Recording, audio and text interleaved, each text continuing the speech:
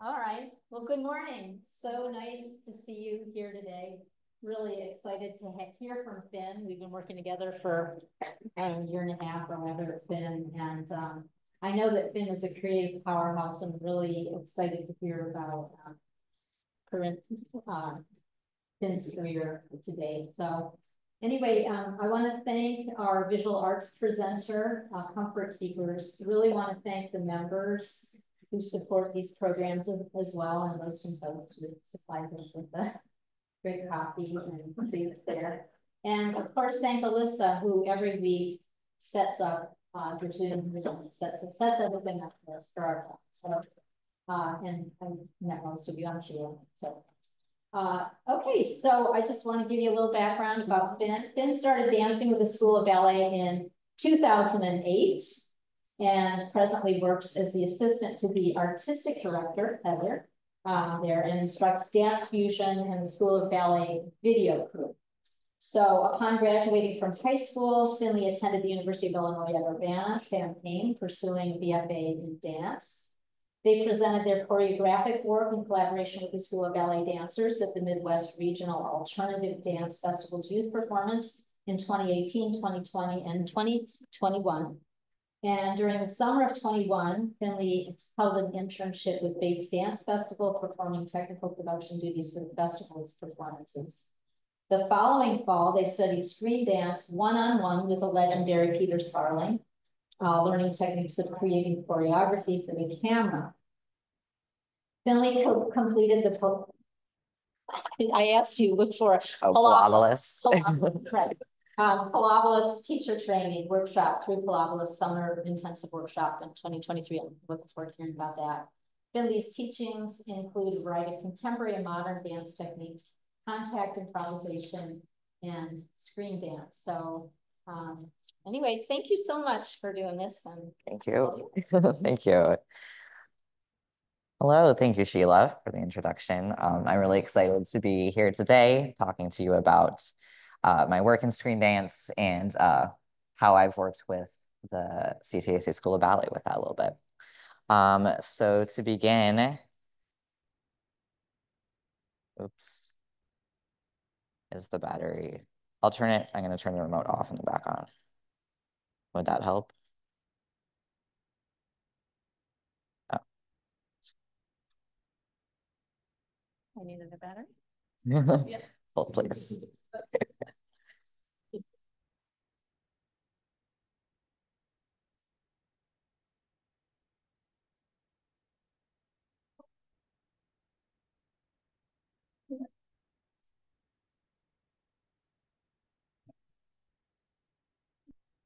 For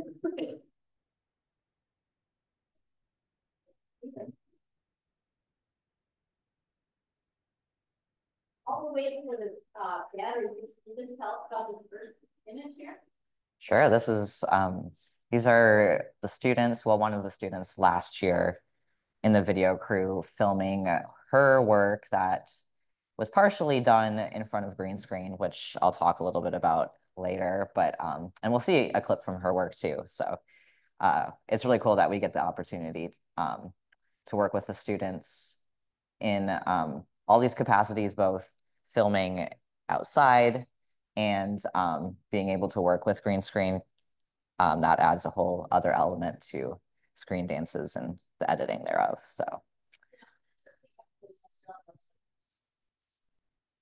Sure. I yeah, I plan to talk about this more with more clips, but um, yeah, so as you see the green screen, um, it kind of serves as, oh, there we go, um, as a way to key out dancers from the background and then be able to put another background behind them. Um, so they can really dance in any capacity. They can dance underwater, they can dance um, just really with any background, which makes it kind of cool. We have remote. Yay, thank you. All right. Uh, so to start off, um, a little bit of background on myself. I began dancing with the Cricket Center School of Ballet in 2008. and uh, I started when I was eight years old. This picture is when I was 10 years old. Um, so it's from Alice in Wonderland, I believe. And um, I went through the program all the way through my senior year of high school. The second picture is me as a frog in 2018. Um, and that was for Sleeping Beauty. Um, and I always enjoyed dancing, but really dove into the idea of making dance a career when I started exploring sound editing and video projection being paired with uh, the choreography I was creating or other people's choreography.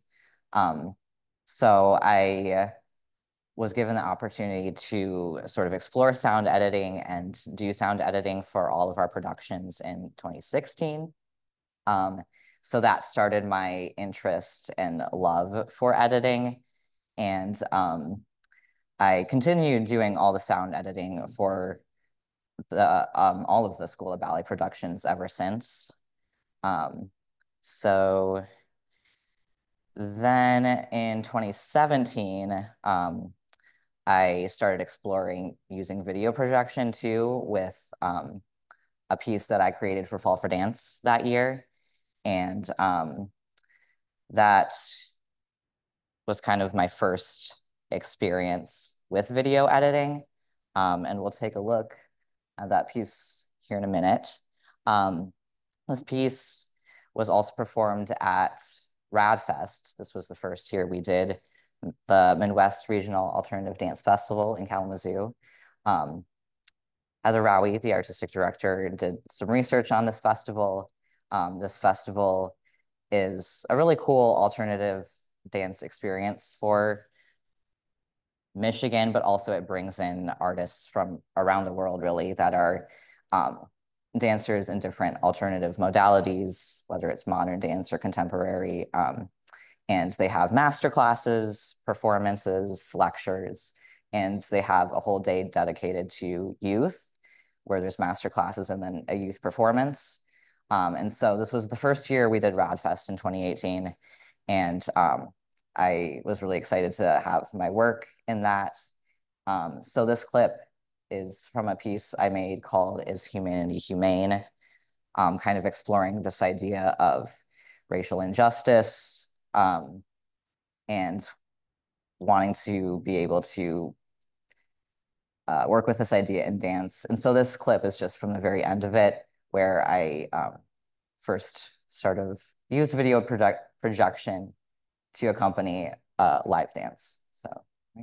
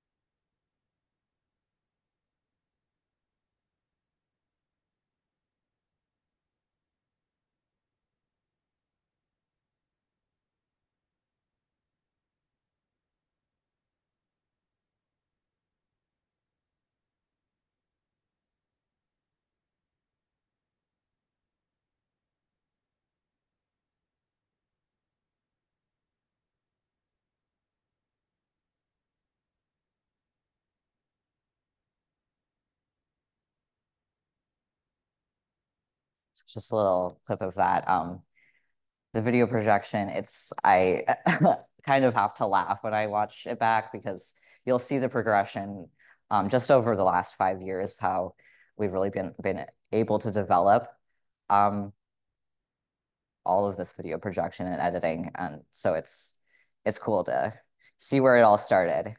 Um, after graduating from the program in 2018, I um, started as a dance major at the University of Illinois in Urbana-Champaign. Um, and while I was a dance major there, I had the opportunity to take dance documentation. Um, and dance documentation um, is essentially what it sounds like. It's basically um, a videographer being required to film live dance work and edit it in a way that preserves the work so that choreographers can restage it or at least there's a historic document of this live work because really video these days is the only thing preserving live dance work. Um, in the past, there were some written forms of recording dance, but uh, those are pretty obsolete now. So um, I really enjoyed being able to further explore this idea of video editing through dance documentation. Um, and at the same time as I was doing dance documentation, taking that course and other courses at University of Illinois, I was also still creating my own work and working with this idea of pairing live dance with video projection. Uh, this is an, an example of me actually kind of dancing with myself in video. Um, I also, during my senior year of high school, started these uh, daily improv videos where I would film myself every single day improvising, which was kind of a cool journal um, thing for me anyway, to see myself progress in that way as a dancer. Um, I reached a thousand consecutive days of filming it myself, which meant I had a very huge library of different footage to pull from. So this is me, this is me performing at the University of Illinois in um, just a little studio performance. Um, and this is me relating again to the video projection. So just that.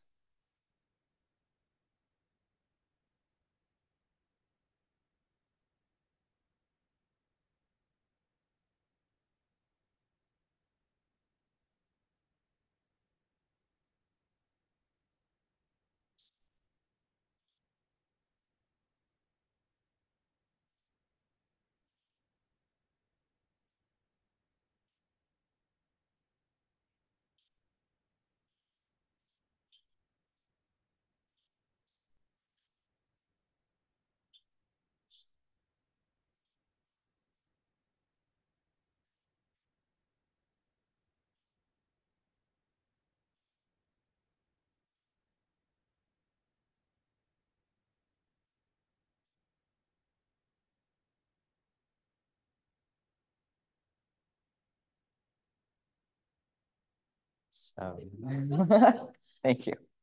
Yeah, that was a little fun project. And that this project, I also created a screen dance sort of relating to the same theme of like how children really relate to nature. Um, so this was an exploration of that. And then I had also created a screen dance with um, one of the students with, at the School of Ballet, um, sort of relating again to this idea of children really relating to nature. Um, and then moving forward, the pandemic started. Um, and at the start of COVID, I moved back home.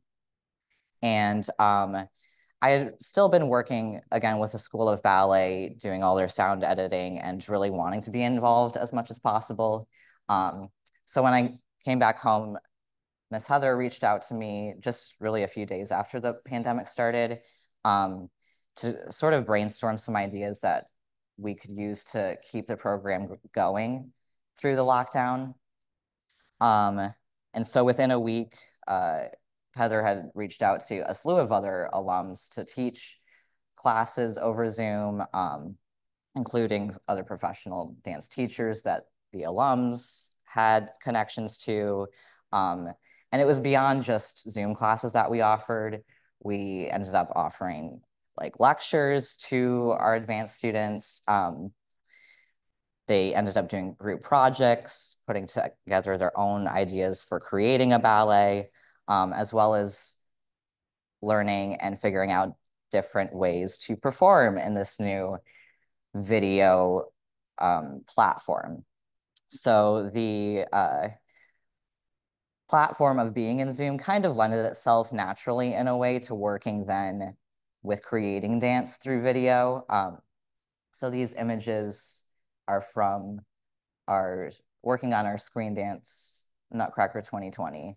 Um, and we'll take a little bit more of a look at this in a minute. Uh, but just to sort of think about filming um, site-specific screen dance, this is one type of way that we can create screen dance. And here we see images of filming outside around Petoskey. Um, so therefore, we were filming specifically on a site. Um, and within the Zoom classes I was teaching, I sort of started exploring the idea of also using video um, as a way to influence and enhance the education they were receiving. Um, and so when thinking about other ways to perform in this video platform, we, um, the dancers and I created a concept for doing a video performance over Zoom um, using the boxes that everyone was in to make an entire picture of a performance kind of. So this piece um, was actually originally choreographed by Miss Heather for Le Petit Prince, which was our June show in 2017.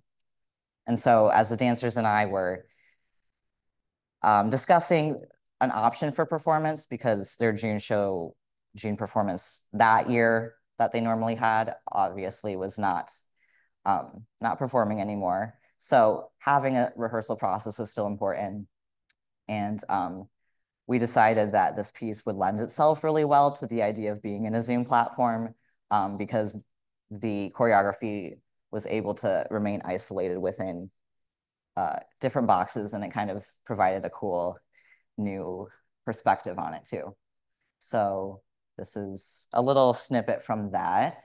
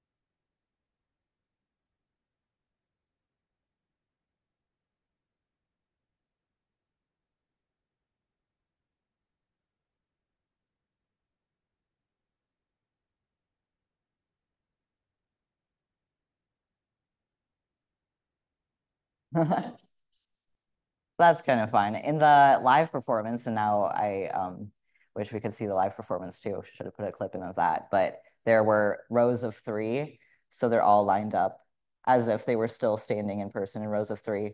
But it still really lends itself well to being in individual boxes like this. And um, yeah, really cool to see it all lined up that way. Um, so then moving forward into Nutcracker, um, we decided to create an entire Nutcracker that was solely a screen dance. Um, and we enlisted the help of Dewan Jordan, who's such a cool technical mastermind. I forget what he calls himself, but a creative video mastermind. And um, I was really honored to learn a lot from him through this process um, about filming in front of green screen and just all the different layers of editing through green screen. Um, so this is an image of what the setup looked like when we were filming in front of green screen at Great Lakes Center for the Arts. Um, so we ended up filming each dancer individually in front of the screen, then editing them into various pieces throughout the entire screen dance. Um, and so green screen, as I kind of talked about earlier, um, allows us to put any background behind the dancer and also any foreground um, as the floor was green too. So the dancer can completely be removed from the screen and then a whole entire landscape can be put behind them. So, um, and then also just to touch on before I move ahead, the difference between filming site-specific and green screen. Um, site-specific, when we're filming in a specific location, we're taking various shots usually um, of the dancer in a location. So there's a few different angles we're getting of the dancer that then edit together into the finished product. And we'll see some examples of site-specific. Um, but green screen, we're filming just the front angle. So instead of being able to see all these different aspects of a dancer, it's a lot more two-dimensional. Um, but then through the editing, sometimes you can add in more effects and it becomes um, more of like a magical experience than um, just site-specific, although that can be magical too. But um, so just to give you an idea of what an editing timeline looks like for um, for green screen especially, where we see all of these layers stacked on top of each other is where each dancer is an individual box and they're all dancing at the same time, hence them all being on top of each other. Um, we have a few site-specific things where it's you just see one bar of video, um, but it got a little intense towards the end there um, of how many layers we were adding on. And um, when you're watching some of this, obviously, it's cool and you can kind of imagine how much work it probably took, but to actually see the map of it and realize, oh, wow, that was like 24 different images all happening at once. That's, that's a lot of work. So, um, so to give you a taste of that, this is um, the clock scene, which served as the battle scene in our Nutcracker 2020. Um, so I created, um, actually we had a dancer draw sort of the outline of the clock in downtown Petoskey at the waterfront in Petoskey. And um, the dancers all sort of took shape as different numbers on the clock and then ended up battling each other. The idea was that Clara's friends were battling Fritz's friends on the clock. So here's a little excerpt of that.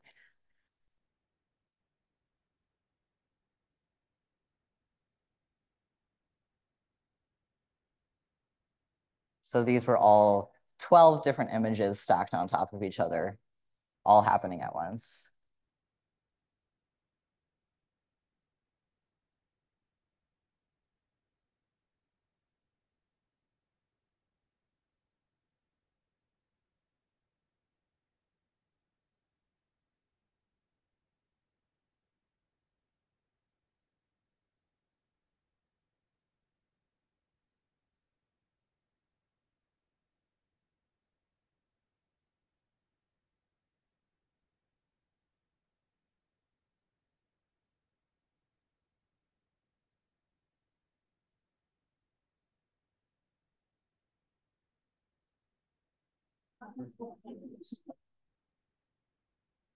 So I also had the dancers work with the idea of adding visual art into their dancing. And so the idea is that Clara and Fritz were drawing their weaponry to fight off each other.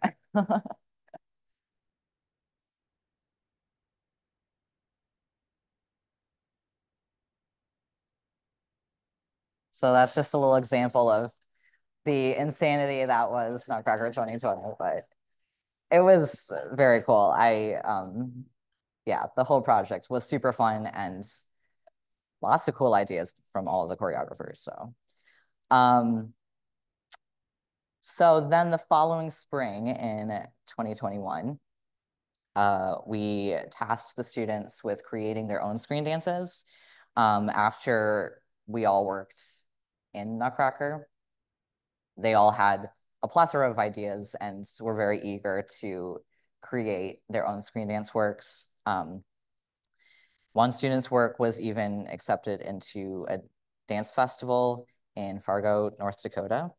Um, so it was really cool for them to be able to not only explore this different avenue of dance, but um, take their work out into the world in a completely different way that they may have never even thought of before. Uh, so this is an excerpt from Amelie Hanson's screen dance, Reflections. Um, and she used a lot of different cool ideas with ice and mirrors, so we'll take a look at that now.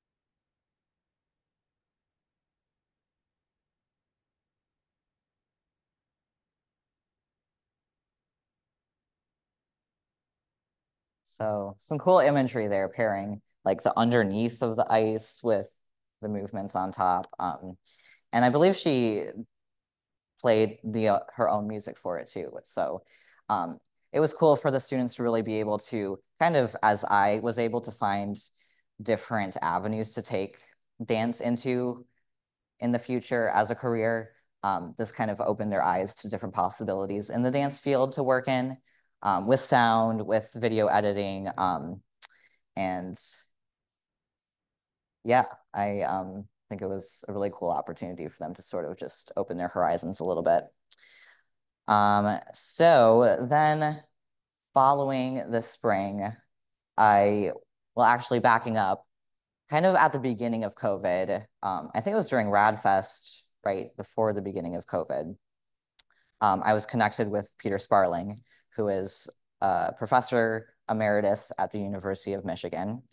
And he's really a legendary dancer with Martha Graham. He's done, he had his own company um, and has then done a lot of work in screen dance too.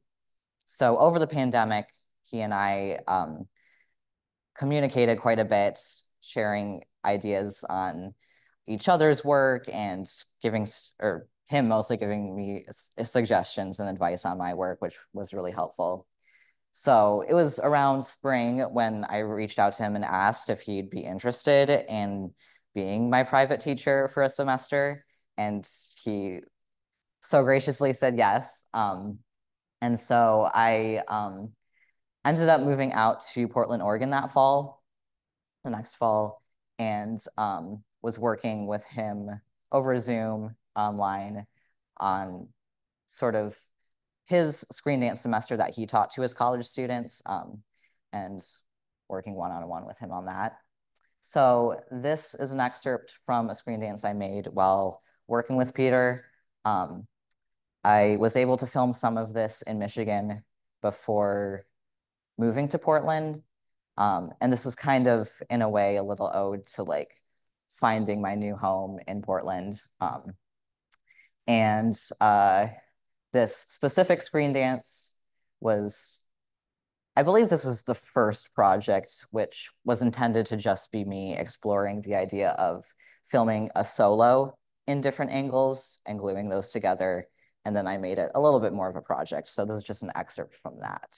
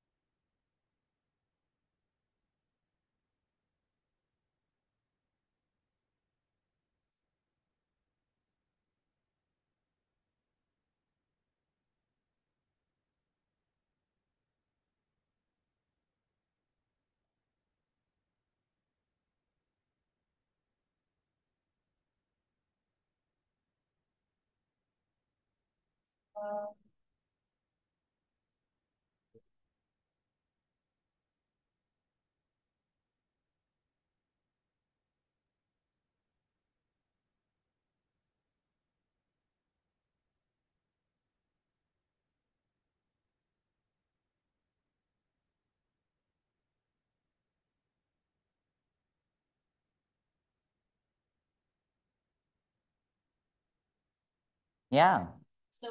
That dancing is done on a green screen, then you're importing all of the video behind it? Um, this was not. This was site specific. So I actually was dancing out in the woods. um, and then this is in my apartment in Portland.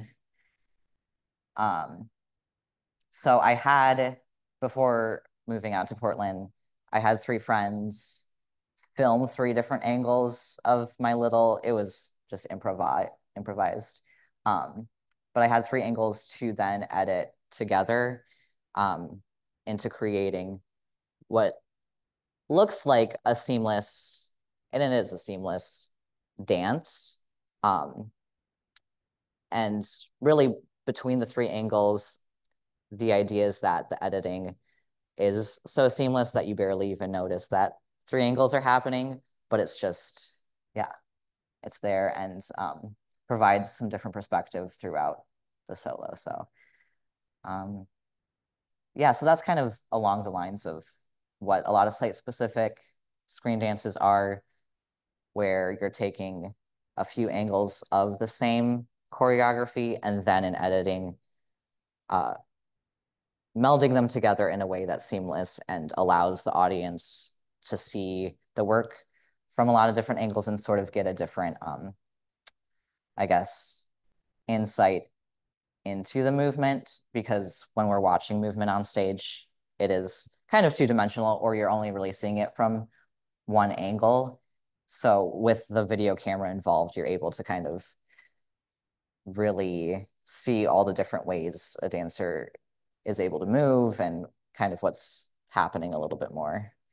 Um, so throughout this semester, um, I ended up creating a lot of different works with Peter. Um, and then the following spring, um, I I was still, of course, doing sound editing with School of Ballet, um, and always actually while I was out in Portland, I was still um, teaching through Zoom too. So I was still really connected with the program.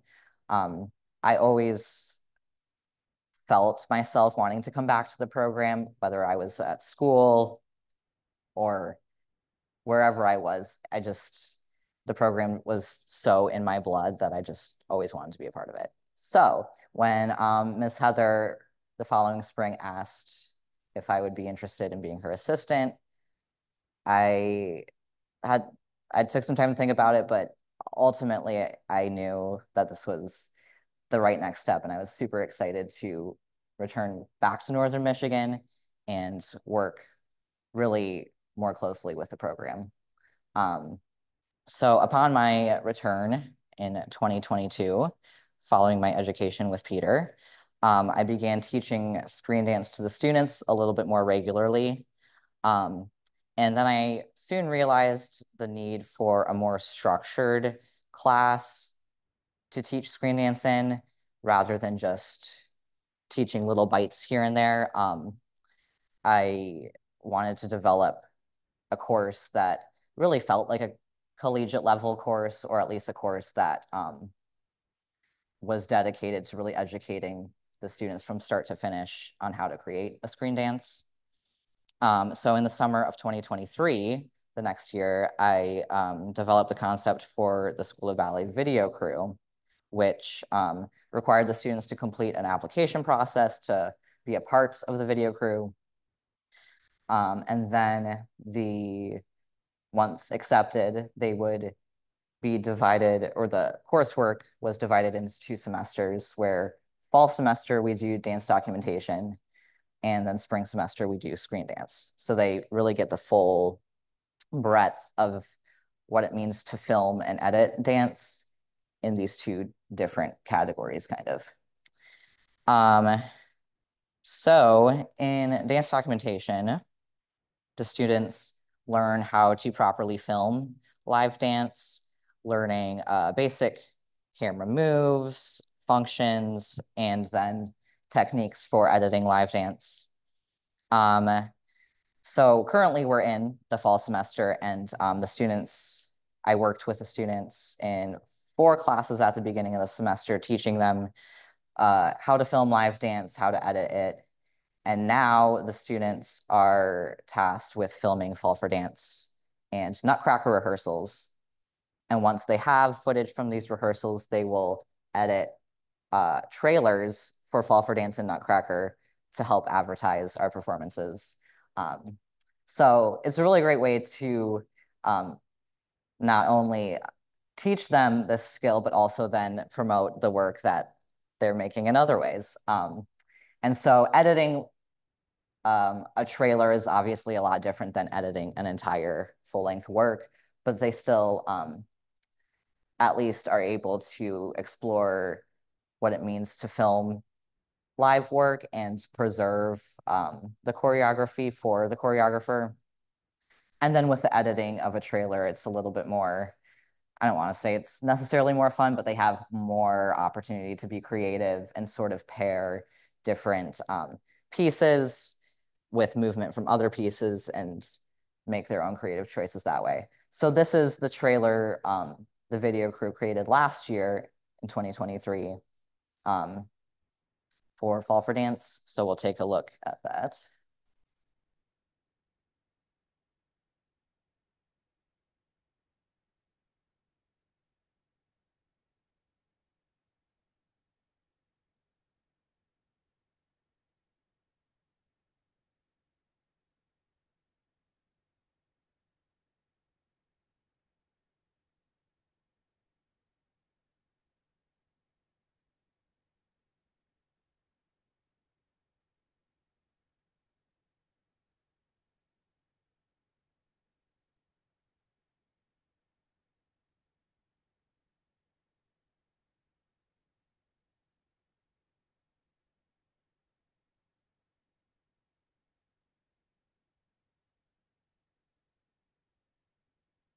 So Fall for Dance this year is coming up really soon.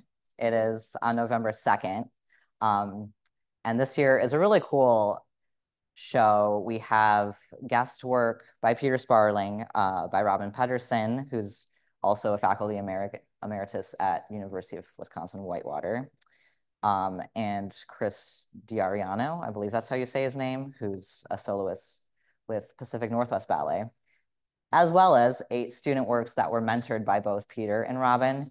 So this year's Fall for Dance is just really rich with um, really professional level work and um, I'm really excited for it. I'm performing in Peter's work, so if you want to see me dance, but um, you should come anyway because the students have worked really hard um, and it's it's just going to be a great show. So the the students will create the trailer soon, and hopefully you'll be even more intrigued to come. But just a little plug for right now. Um, so I think I think that's basically it for dance documentation. So we'll move on to screen dance, which is the spring semester. Um, so we spend the first eight weeks of the spring semester uh, learning the history of screen dance, watching and discussing screen dances that were created anywhere from 1945 to 2024. Um, and the students learn techniques for translating their choreographic ideas into video or into um, being able to film it through the camera. Uh, within the classes, the students get the opportunity to practice filming both site-specific and in front of green screen and being able to edit that um, so that with all of these tools that they get in these weeks, in these first eight weeks, they're then able to create their own full screen dance. Um, and they, I have them choose if they want to do a site specific, combine site specific with green screen. Um, last year, Aria chose to work both in a site-specific location, so filming some choreography with different angles out in the forest again, and then also moving into green screen. Um, so we'll see a little excerpt from how she utilized both site-specific and, and green screen.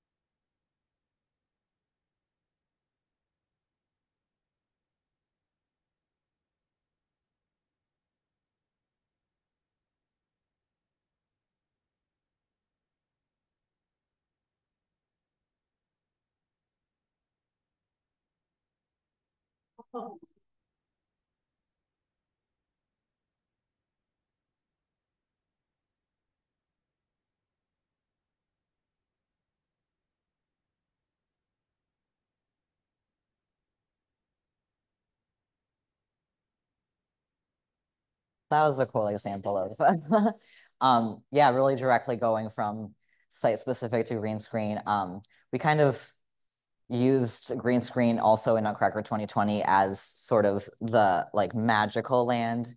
Um, because when you're working with green screen, you can use any background and it becomes uh, this really exciting way to sort of uh, be creative and allow the dancers to be in really any location. Um, so that was a really cool example of the magic of moving right from being out in the forest to some new land.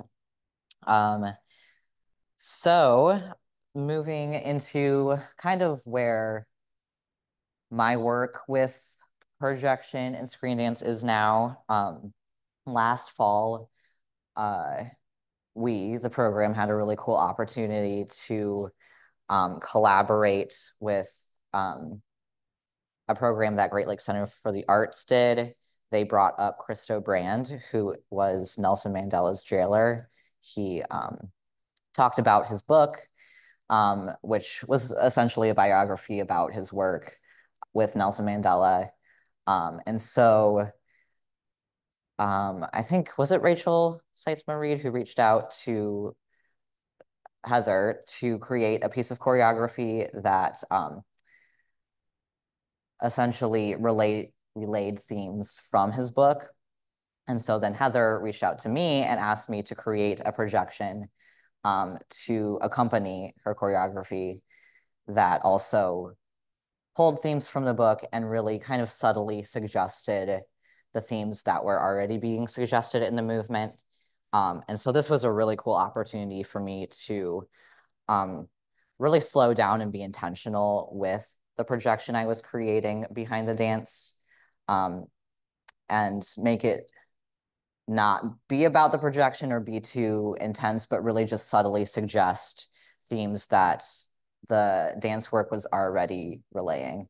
Um, and so since this project, I've been a lot more um, thoughtful and intentional behind the projection I'm creating to really um, allow the choreography to say what it's saying and just the projection projection to be there as a subtle um, aid really for the choreography. Um, so here is a clip of this work.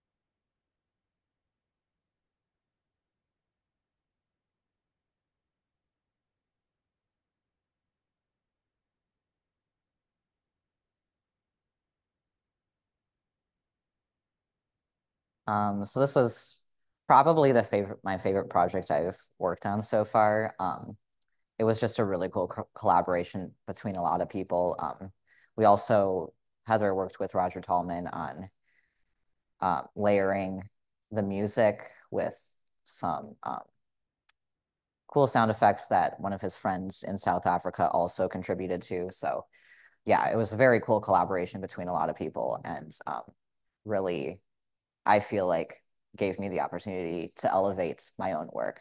So really appreciative for that experience. Um, and so then leading into this past spring, 2024, um, as we um, were working on Charlie and the Chocolate Factory, and Miss Carrie um, reached out to me about wanting to create a few different projections to go behind some of the dance scenes, as well as create an entire screen dance for the tunnel scene for Charlie and the Chocolate Factory.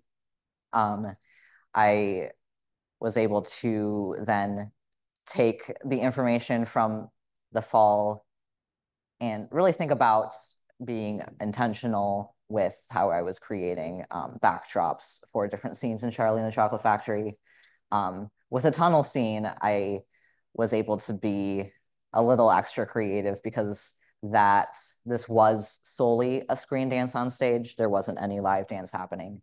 Um, so the idea was that the dancers from the Chocolate River walked right into the tunnel, which was solely on the screen. Uh, the tunnel ride, they were in a boat. So we'll watch the entire screen dance, um, which is about five minutes. Um, and this is my most recent screen dance, or at least the most recent screen dance I've created with School of Ballet. And um, I think we all had a lot of fun on this. I know the dancers definitely had a lot of fun uh, performing this. So we'll take a look at that. So this was all green screen, by the way. Lots of layers of green screen.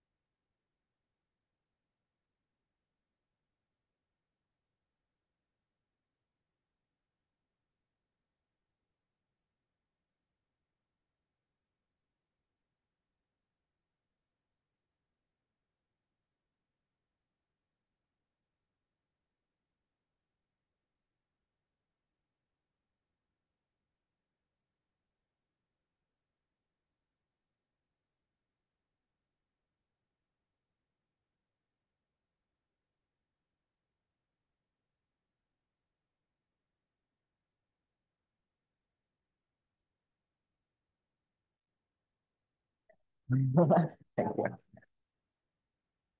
Um, yeah, so that was a very fun project. Um, we we actually the green chairs that are down in the basement, we used those for keying out the chairs since they were green. Um, so each of the dancers was performing in a green chair in front of the green screen, and then I keyed that all out, put in the benches and the purple chair. Um, so we ended up editing wise having like 20 layers happening at once with the dancers in the background, the dancers in the seats. So it was quite a lot of work, but totally worth it. And um, definitely taught me a lot just by going through such a deep editing process um, that I feel really informed for future screen dances that I create. Um, and I'm excited for the next green screen editing that I do because I know that it'll be able to be even more elevated with the way I was informed from this one. So excited for the future. Um, so uh, we have a few more minutes and I'd love to open it up to any questions you might have. Yes, Solomon. Mm -hmm.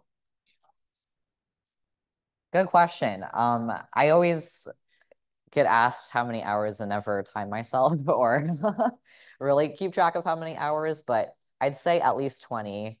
Um, I definitely spent a few hours each day for a solid two weeks. So I think 20 is probably a good estimate. Yeah.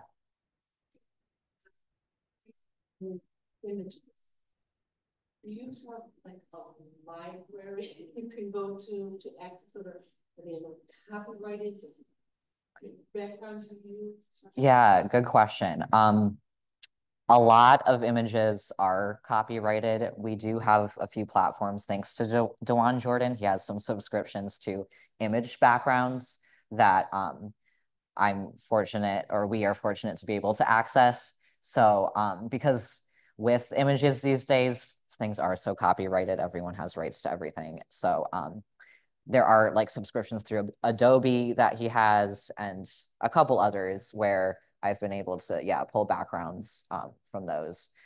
The tunnel backgrounds I actually created in Canva, so um, which Crooked Tree uses Canva a lot. Um, so that's also a huge um, resource for me is being able to pull images from there too. Yeah, Michelle. This to me, something's not all in ballet world. this seems really progressive, this kind of programming that's going on, this kind of development. Is this, are other schools of ballet that are maybe comparable to crooked trees if there's such a thing? are they are they also progressing this way? Is this what you're seeing in the future? Um, I don't know of any other schools of ballet that offer this much diverse programming with alternative dance and screen dance. Um, I think it is pretty rare for a youth dance program to offer screen dance. Um, as I've created the structure for the screen dance class, um, I've been looking for different resources of like readings that are more catered to middle school and high schoolers, and really it, that doesn't start till college. Um, so eventually I'd love to sort of create a book or textbook that um, is catered to middle schoolers and high schoolers um, with an outline for a class in dance documentation and screen dance because um, I think it's proving to be really beneficial to the students and I think uh, it would be cool for more programs to be able to offer that. Um, so yeah, to my knowledge, we're the only ones so far. yeah, Sheila. How does your experience as a dancer different when you're dancing or either site specific or screen? Good question. Mm-hmm.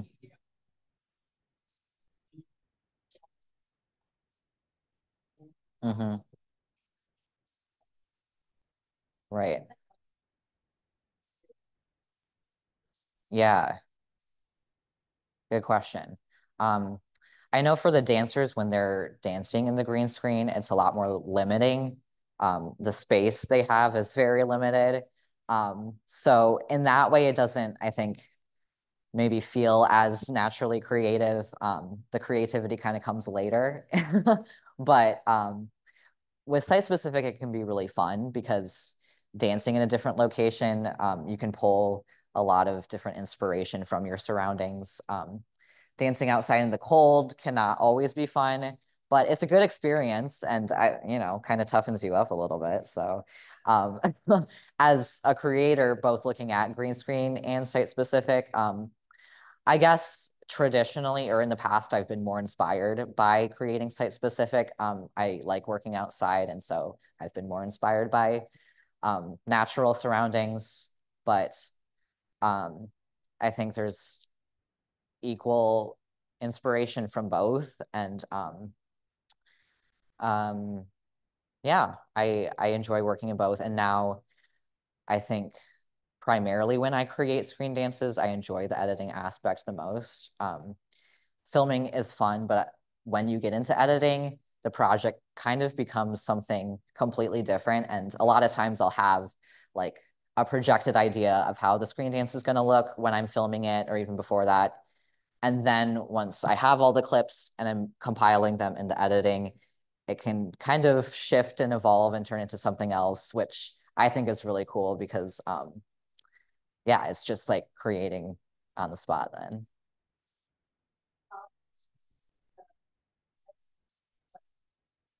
Mm-hmm. Mm-hmm. How do you, um, two questions, how do you syncopate, you know, like the movement of the dancers and then the screen, and then how do dancers rehearse?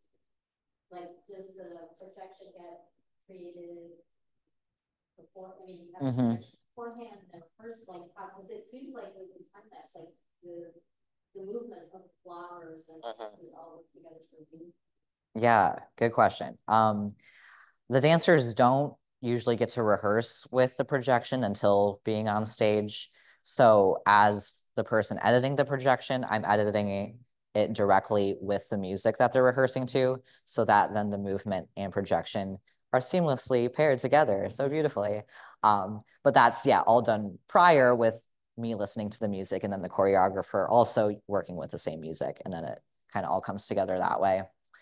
Um, but with the, when I was dancing with myself on the screen, I did have to actually rehearse the movement with myself, um, setting up like my computer and being like, okay, oh, too fast, too slow. And as if you had a critical eye, you probably noticed I was not exactly in time with myself all the time, but um, it's definitely um, a cool way to work though, to be able to actually have to force yourself or not force, but um, relate to the projection directly like that and um, have to think about your timing based off of the video versus just the music is is a cool experience too.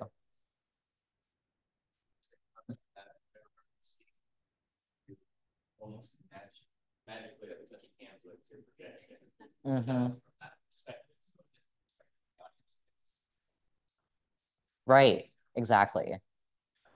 Yeah, I'm not um because when I was rehearsing it myself, I didn't necessarily have the scale to be able to decipher like, oh, here I'm gonna make sure I'm like almost touching myself. So um yeah, that's a whole other added as aspect where I'm sure some people in the audience were seeing different ways that I was relating to myself, and then people on the other side were seeing it differently too. So that opens up a whole other like dialogue within the audience too, which can be cool. Yeah, Michelle. Following up question about what images you use. I noticed Peter Sparling's also a visual artist. Mm -hmm. I mm-hmm. think he's done didn't we have a fall for dance where some of his actual images were the projection? So I was yeah. about talking about collaborations and all. What what's your thought on actually collaborating with a visual artist in creating what is a part of that screen dance? Yeah, I'd love to. I think that would be a really great way to yeah. Add in a lot of things. Um, yeah, last year's Nutcracker, and I believe this year's Nutcracker too. Peter Sparling is creating um, all of the backdrops for Act Two. So he's painting all of the backdrops um, that are being projected behind the dancers. Um, but he has worked a lot with also movements in the projection relating to the dancers too, um, because he himself is also a visual artist. So yeah, it's definitely cool to have that aspect too. And would love to work with other visual artists in the future to um, marry all these worlds together. Yeah. Mm-hmm. Dancers, I think they down iPhones and then. Yeah. Later. Oh, Explain how that worked or.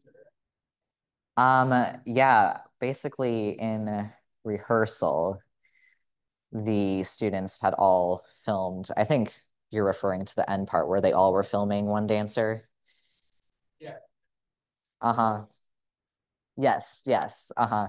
So they all in a rehearsal filmed on their iPhones themselves walking around this one dancer performing on stage.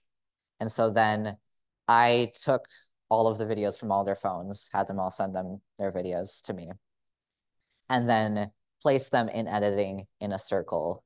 So it looked like it was happening in real life that they were filming and walking around the dancer, but that was all done ahead of time, obviously. Um, but yeah, the scrim was a really cool tool that um, was used in Peter's work two Fall for Dances ago, um, where the projection, there was essentially like kind of a see-through fabric down the center of the stage. So Peter had dancers dancing behind the scrim and in front of the scrim. So the dancers were relating to the projection in really a three-dimensional way, which was really cool. Um, so definitely something. Right. Uh-huh. Yeah, that was a really cool work for sure. Yeah. Yeah. Since you have the students, and what software are you using? Mm-hmm. I, yeah, I use Final Cut Pro, which is an Apple editing software. I'm a huge Apple person. I like Apple. Um, I know Dewan uses Adobe Premiere Pro. Um, he's more of a Windows person. Um, but I, Final Cut Pro is a little more user friendly. iMovie is definitely very user friendly. Um, but I'd say Final Cut Pro you can do a lot with without being like a super tech nerd.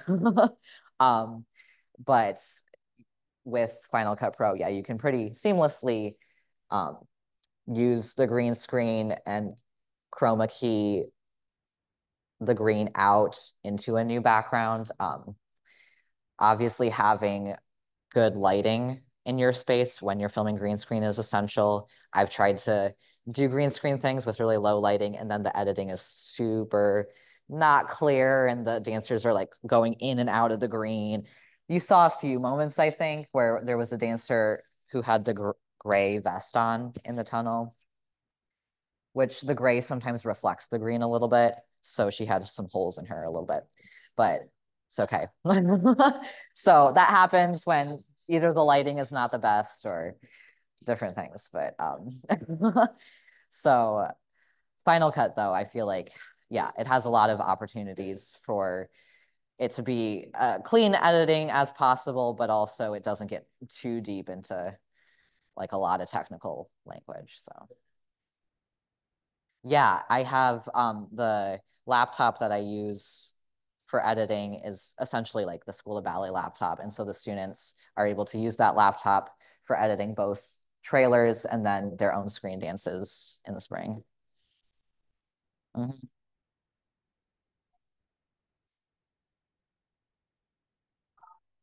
That was so.